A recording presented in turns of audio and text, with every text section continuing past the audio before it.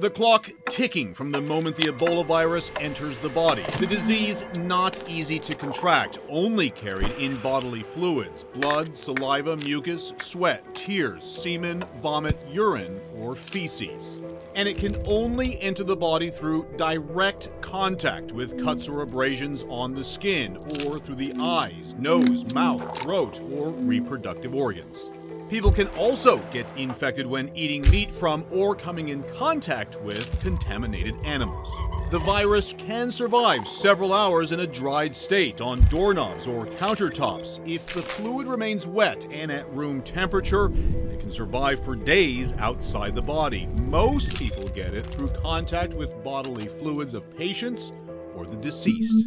But when is someone with Ebola actually contagious? The short answer when they start to show symptoms. Those symptoms, though, can take from 2 to 21 days to kick in. In other words, a person could travel and interact with others for days, weeks, without passing on the virus. The average incubation period is 8 to 10 days. The early symptoms of the disease, fever, weakness, muscle pain, headache, and sore throat, are often mistaken for the flu, malaria, typhoid fever, or dysentery. But then things get worse vomiting, bloody diarrhea, often internal and external bleeding, skin rashes, and purple spots on the skin.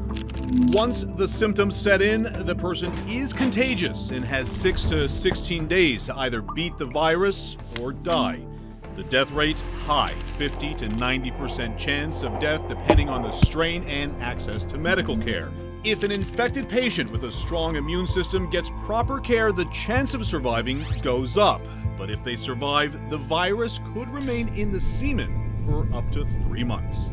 And if you survive, you have immunity for at least 10 years. But what's still unknown if you're immune from other strains of Ebola answers, and questions for a frightening disease.